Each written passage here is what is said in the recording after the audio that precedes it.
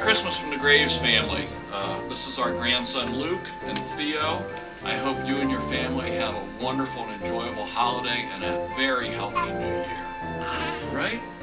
Can you say Merry Christmas? Yeah. Thank you.